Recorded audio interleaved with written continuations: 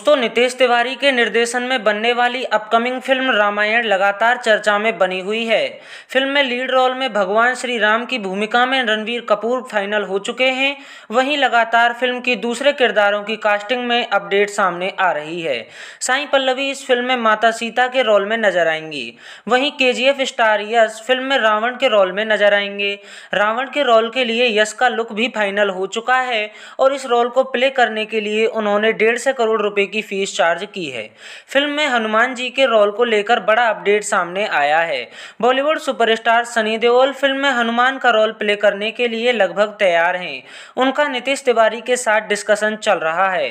नीतीश तिवारी ही नहीं, बल्कि रणवीर कपूर भी यही चाहते हैं कि सनी देओल यह रोल प्ले करें। वहीं मेकर्स ने रावण के छोटे भाई कुंभकर्ण के रोल के लिए बॉबी देओल को अप्रोच किया है।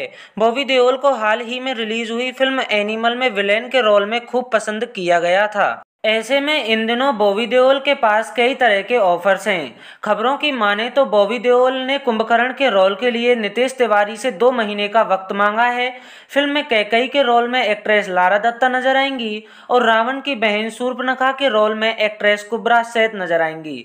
वैसे देखा जाए तो रामायण फ़िल्म की स्टारकास्ट काफ़ी बड़ी है और अभी बाकी की स्टारकास्ट फाइनल नहीं हुई है। तो दोस्तों, आप इस फ़िल्म को देखने के लिए कितना ज़्यादा एक्साइटेड हैं कमेंट में ज़रूर बताएँ। बाकी फ़िल्मों से जुड़ी ऐसी ही अपडेट्स पाने के लिए हमारे चैनल को सब्सक्राइब करें।